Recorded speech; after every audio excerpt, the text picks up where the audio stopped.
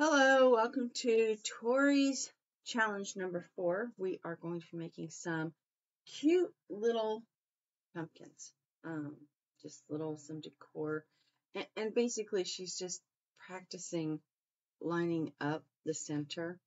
And these, because they're a Halloween decoration, um, if they're screwed up or she gets frustrated and doesn't want to do the piecing she can still make them out of one solid piece, um, and there's still something cute that you can do.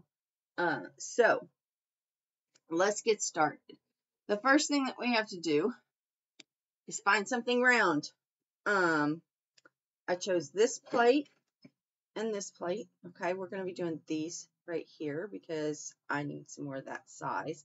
So these are good. This right here is like, it's a medium plate. This is a little saucer. This is like a, I don't know, sandwich plate. Uh, it's the perfect size for these when you're learning. So I like this one, but you could do these on up to a pie pan or, you know, you can make a big pillow out of them. Um, as long as it's round, you could just make it round yourself. So what you need is, now I made a little pattern and there's a reason why. It's because we're going to make our patchwork. If you're not, and you're just doing them this solid color like this, no piecing, um, which does not look bad, uh, you don't have to make the pattern. You can just, you know, make it round and go on. And I don't cut mine perfectly on the line. I have like six here and I don't have a really good I have a pair of scissors, these that go through, you know, two, three, but I'm doing six, and so, yeah. It is what it is. I'm cheating. Then all you have to do is fold the paper in half, okay? And you don't, if you're not patchworking these, you don't have to do this part. And then I folded it in thirds, okay? So we want this little wedge. Um, now I tried them in fourths and it didn't look very good. It looked too symmetrical, okay? And it didn't look like a pumpkin at all. So I found that six make the perfect pattern. So basically, we're going to cut these in half. And I'm going to take this down to two just because it's rather thick. Um, so we're going to cut them in half like so. And again, it doesn't have to be perfect. So, okay, we've got those in half. And these are a little bit thinner, so they probably will do. I think it's just that fabric because it's a little bit thicker cotton that my scissors don't like. But all right, so I've got these cut in half. Then I am going to open these up, back up. Okay. And basically, I'm just going to cut them in thirds. Probably should do it with the ruler so I don't cut my pattern up. But one. Move the pattern over. And like I said, this does not have to be perfect. It just has to be wedges. Okay. So, and see that one didn't even get close to it, but it is what it is. And then we're going to do that again for all of the pieces. All right. So let's see if my rotary will do all the pieces. Don't know, but we're about to find out. I always get the first one like really good. And then after that, not so much. Oh, my rotary went off. See, it's my scissors. So we've got all of these. Then the next thing that we have to do after I get this last one cut is lay it out.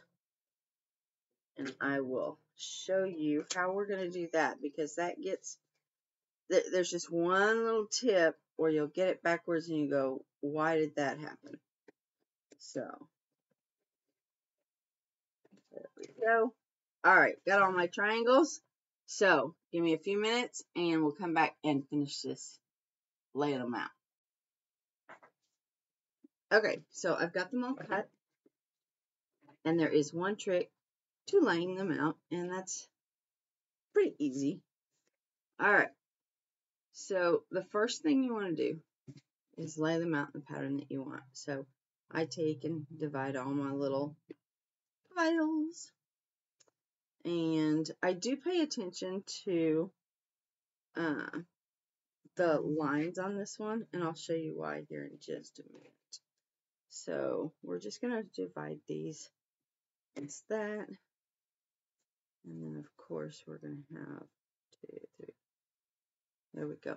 Now, the I took two pieces of each fabric and made my circle. So I had six circles to start with. And this is going to make three pumpkins. Okay, so,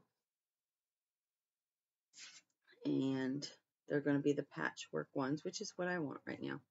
Okay, so I've got all my shapes. Now here's where there's one little trick that you have to know. Okay, you can't just take them and put them in the same pattern.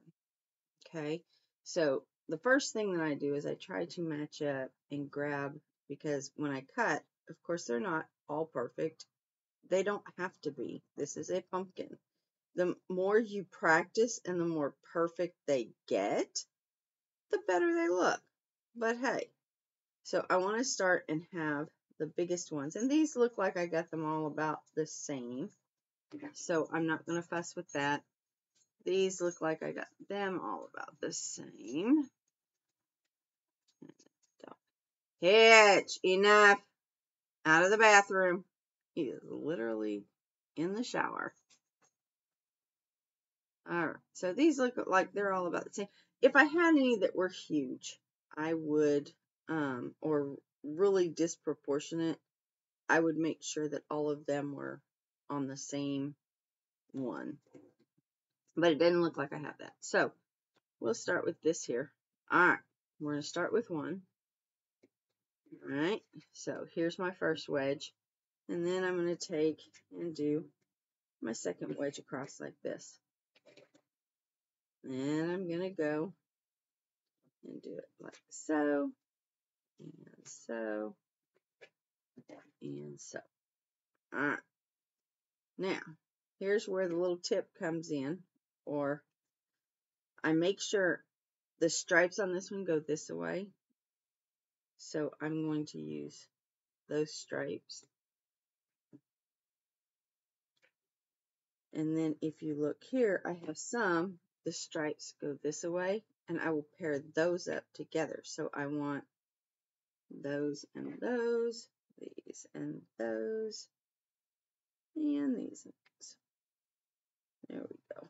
All right. And that's just the way I do it.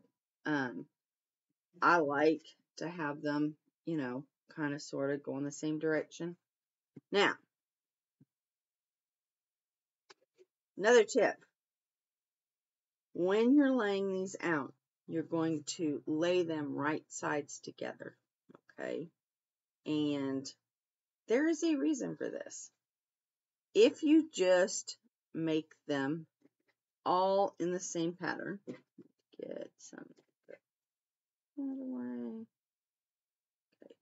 If you just make them, you know, the black, the orange, the leaf, the pumpkin, you know, if you just do that, the two of them are going to come up reversed when you put your pumpkins together. Okay? And I'll show you what I mean. Oops. You have to do it upside down and make sure that they go. All right. Now basically, when you do this, you're just going to start sewing the pieces together and then you're going to sew the two circles together, okay? And you're going to stuff it and go. Now, this one is ready to sew together. All right. So I will do that in a minute, but I want to show you when you lay these out like this.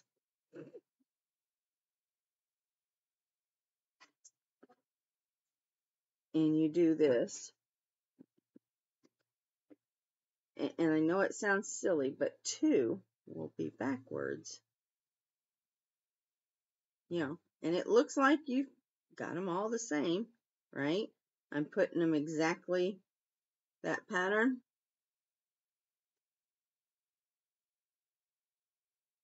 Now when you sew these, because of the way that they were lined up, the way that you put them, two of these will be backwards. Oops.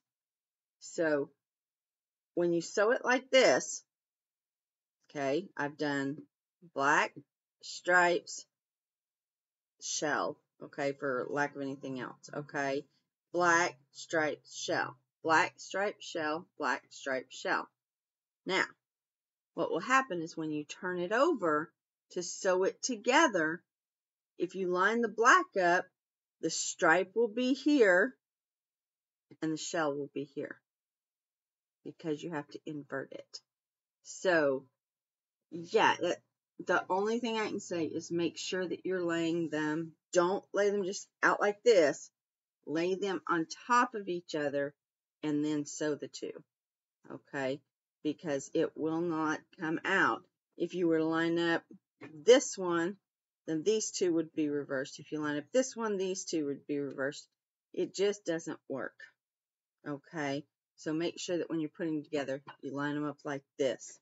All right, so I'm going to go over to the sewing machine and basically you're just sewing these stitches together um, until you get in your circle back together. Okay, and you're going to do that twice. And then we're going to sew the circles together. Then we're going to stuff it and thread it. So, okay, so here we are at the sewing machine, and I'm just going to grab any two, and I am going to start sewing them together.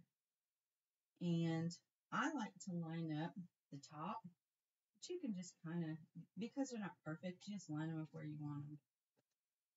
Okay, I have leftover thread in here. Um, because I'm working on something small, I do have my sewing machine set with the needle to the right. And back stitch.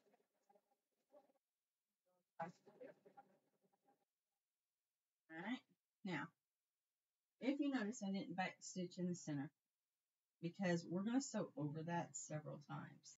When you come to the last triangle and you've got them all done, the center is going to look cattywampus. It's okay because when you put this over and you do it this way, see how it kind of lines up? You're just going to sew right down that. And if you need to sew over any tips, you can do that too. So let me get that done. Okay, so I've got all my little triangles put together. You can see there's a little um, nip where they come together in the center and it kind of points down. That's okay. This is not for perfection. Um, the better you get, the less it'll do. I've got some flaws in these. Don't care. This is just for home decor. So you're going to take them and you're going to line them up. And then we're going to go back to the sewing machine and we're going to just stitch around like so.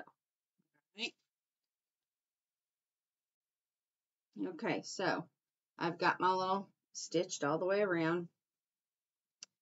I don't worry about the strings, don't care, just they'll be all on the inside. So this is not a perfection um, thing. It's just not. It doesn't have to be perfect. And then um, your polyfill will come with a little stick like this.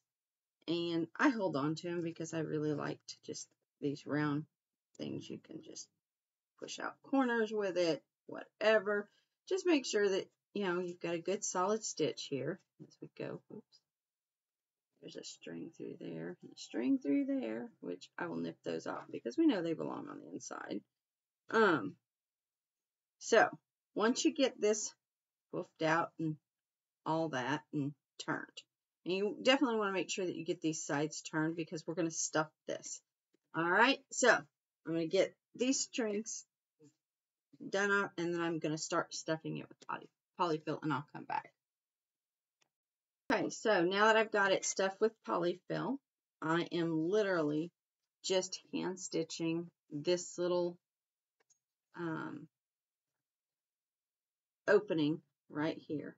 And like I said, it, it doesn't really show, so it's okay to not be perfect, but I just whip stitch it. These, you want these to look handmade, so, you know, they are what they are. And I just broke my string or my thread. So, all right, I'm going to stitch this up and then I'll come back and show you how to make the loop-de-loops in it. Okay, so I've whip stitched my little thing here and it's not perfect. Doesn't matter because by the time we get those um, wraps in there, uh, it'll be fine. I'm using upholstery thread. You don't have to.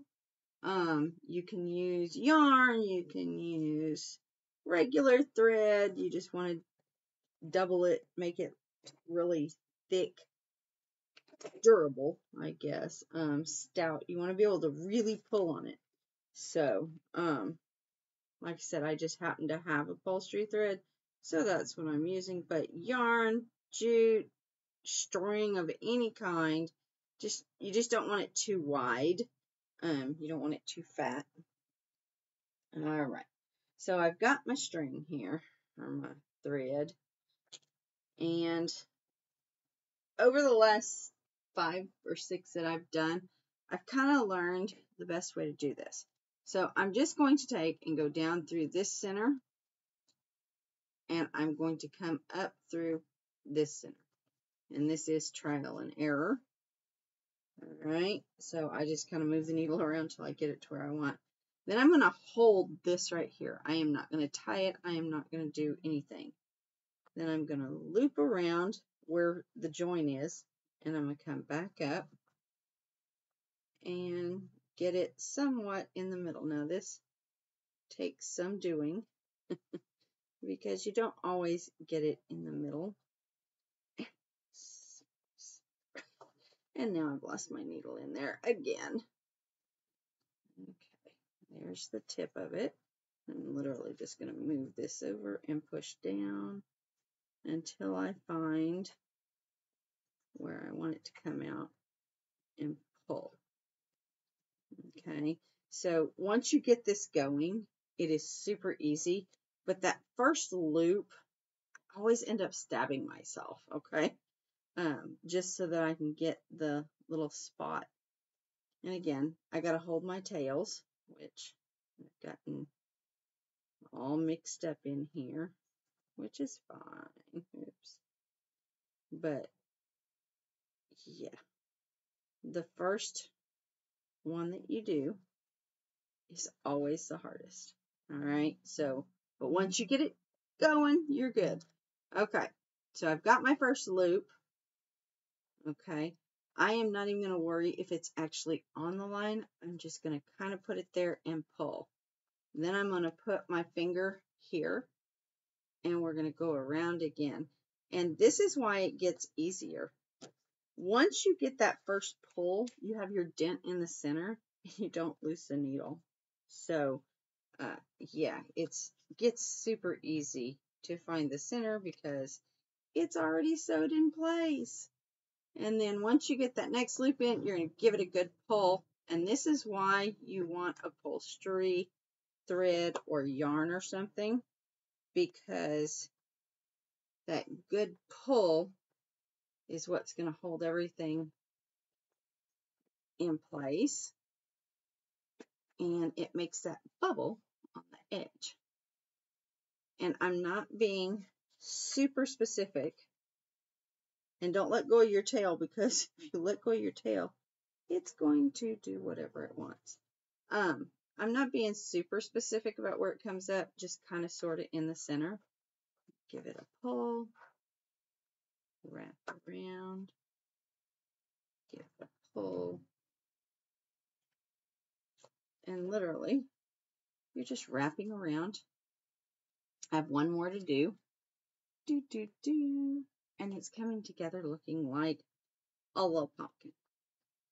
Okay, so let me do one more. Of course, by the last one, it's like super easy to find that center because it's all been pushed down. Now, I've got one on each side. Okay, I pull it the way I want it, make sure I've got it nice and taut, and then I'm just to leave a space and go down someplace else and come back up through this side, and then I'm to tie it off.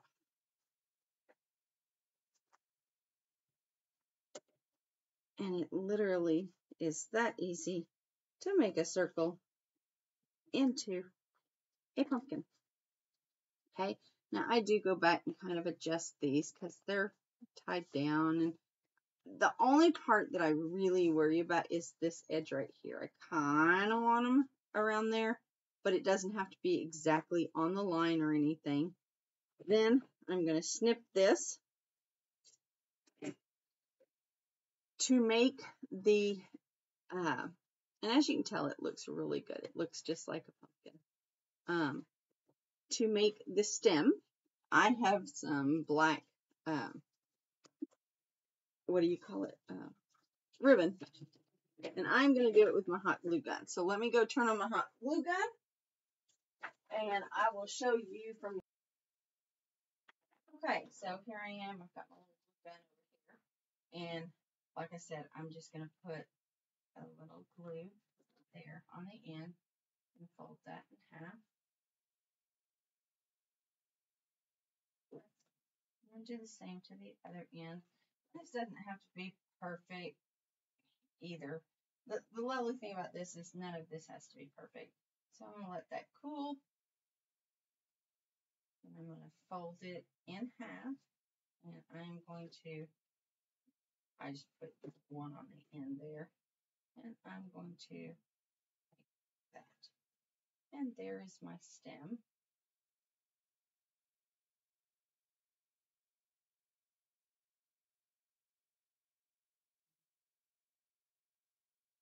And normally it opens back up. There we go. Okay. So it's right there and it's got its little poofiness and it's just a little stem. Then I decide which um, which center I don't like the best. Okay, so I literally look at it this way and think, huh, I don't like this line right here. That looks okay. Okay, looks good enough to me that way. I like it better that way. It's just my preference. There's no right or wrong. So I'm going to take and put some hot glue right in there.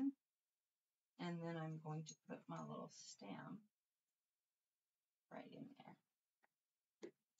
And, oops, go straight. We're going to let it cool, and we have created a little pumpkin. Okay, so this stem is just hot glued on. You could probably sew it on. I'm not going to. I mean, it's ribbon. You could sew it. I'm sure you could just sew it, you know, hand sew it on there. But I kind of like these like this. And like I said, I have ended up with several different kinds. Now, if you don't want to do the piecing, of course, we've got these solid ones. And I just did the round thing, then sewed them together, and then did the loopy thing and put the stem on them. So, um, yeah, and you can do it so that it's a little bit pluffier.